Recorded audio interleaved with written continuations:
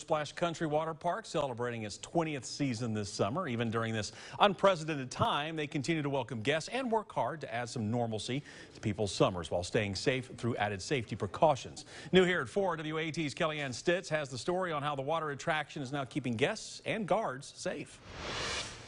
Lifeguards attend an hour of in-service training every week, hitting home the Dollywood standard of safety first while making personal connections with guests. So make sure that as you're walking around park or wherever you are, that you're accessible to guests. While wearing masks and staying socially distanced are some of the added safety measures lifeguards are taking, it challenges their staff to find new ways to connect with guests. Kind of trying to break through that barrier that we, we all currently have. So uh, it's, it's, it's learning those spots on the park that they're not required to wear the sunglasses and making eye contact. And, and the tone of voice is so much more important than we've ever had to even consider. It's challenged us to look at a new way of making connections with each other and with, with our guests that we love to have here every year. Masks and social distancing are just a few of the precautions in place to keep everyone safe.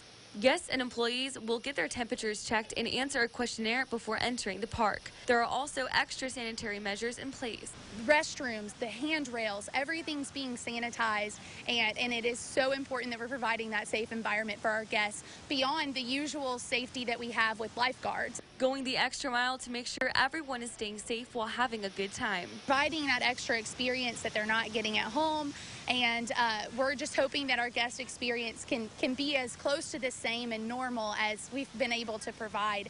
Um, and our guest reviews are, are what drives us. 100%. Yep, it's absolutely. been extremely spaced out anywhere there was a small line or anything, as well as when we went into the shop, they made sure everybody was wearing their masks and it wasn't overcrowded. So, so far so good.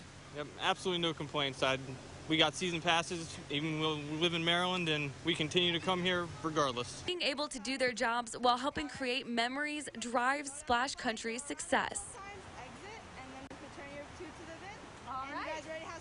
We are. Okay, have a great day. Bye. Bye. along with the rides.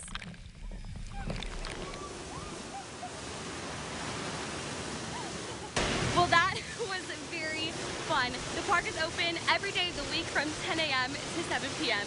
Reporting from Dollywood Splash Country, I'm Kellyanne Stitz, WATE 6 on your side. Oh, I love it, Kellyanne. She just dives right in. So much fun.